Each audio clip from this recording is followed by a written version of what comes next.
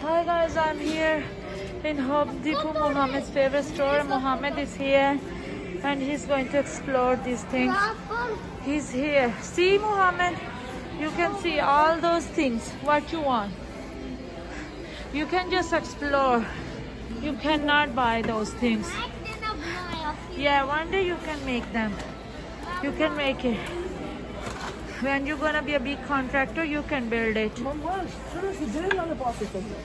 Okay. Okay. No, let him walk everywhere. So, you know, Heather, let him walk everywhere, so, you know. No, he's here to explore. Yes, he's here to explore. So let's go.